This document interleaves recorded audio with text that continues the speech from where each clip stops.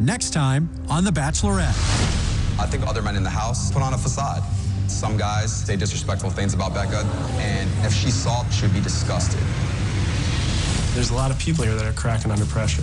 It's scary. The real people come out when they're pushed against the wall. She's in such a bad head state right now. It's affecting me, but it's affecting everybody in the house. Desperate men trying to bring each other down. He's so volatile. It's making me uneasy. You need to get over it and move on.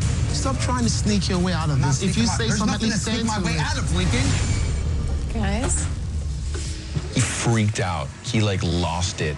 I'm like shaking right now. It's a lot to take in. I want to find love. I want it more than anything. That's what I've been searching for. And I'm not going to stop fighting for it until I have it.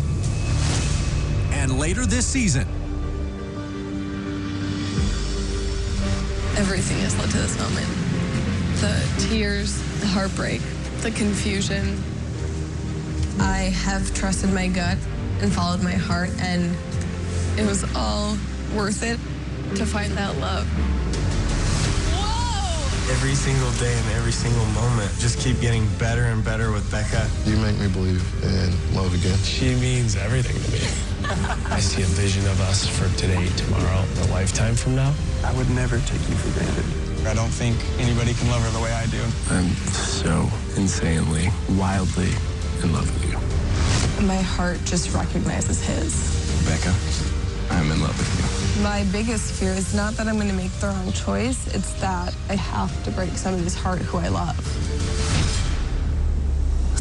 I don't think anything can prepare you for this.